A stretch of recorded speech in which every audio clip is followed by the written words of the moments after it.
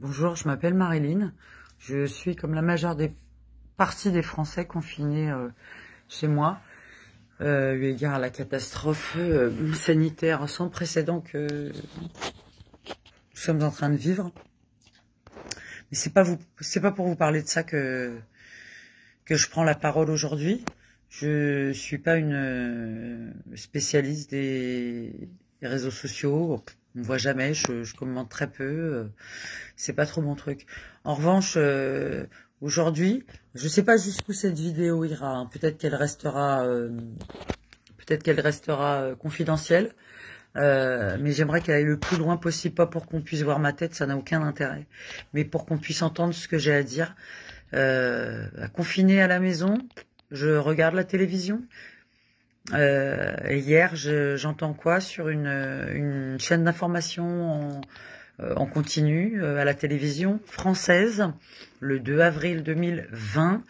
Euh, j'entends quoi journaliste tranquillement en train de discuter avec un, je sais pas, médecin, un chercheur, enfin, en tout cas, en tout cas, quelqu'un qui a fait énormément, beaucoup plus d'études que moi, dont j'ai pas le savoir, mais qui arrive quand même à dire à la télévision française, euh, bah oui, oui, qu'on va éventuellement tester, on va, oui, on va tester, avoir des vaccins, puis on va les tester, euh, bah, on va les tester en Afrique, quoi, hein, sur les Africains?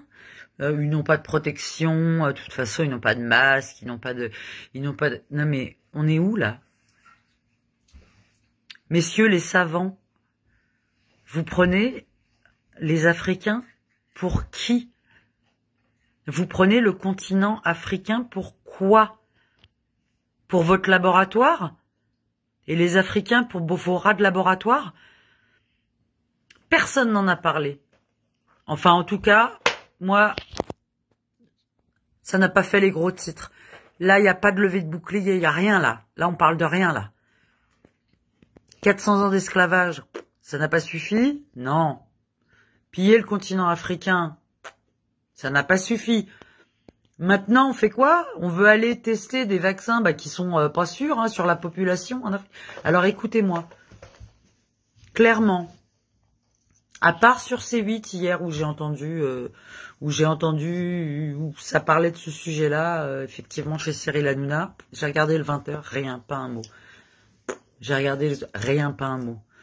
Donc messieurs, je vous demanderai instamment et publiquement de faire comme vous avez fait hier, à savoir à dire des ignominies au vu et su de tout le monde, et ben aujourd'hui, de présenter vos excuses non seulement à tous les Africains qui vivent en Afrique, et en plus à tous les Africains en diaspora, à tous les Africains du monde.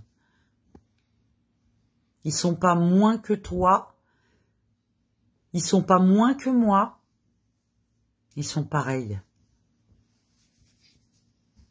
Donc puisque, messieurs les savants, là, vous êtes capables de dire des horreurs pareilles, ben vous savez quoi? Vous allez être capable aussi de vous taire, et avant de vous taire, présentez vos plus plates excuses, et que les Africains attendent pas 400 ans pour qu'on leur dise euh, oui désolé euh, tenu des propos un petit peu euh, c'est pas un petit peu raciste. C'est qu'il y a même pas de mots là. C'est complètement euh, c'est complètement abject. Comme propos ce sont des propos abjects. Donc je vous serais reconnaissante de bien vouloir présenter vos excuses au monde africain. Sur ce bon courage à tout le monde et bravo aux soignants qui, qui se relèvent les manches tous les jours pour, euh, pour soigner les malades.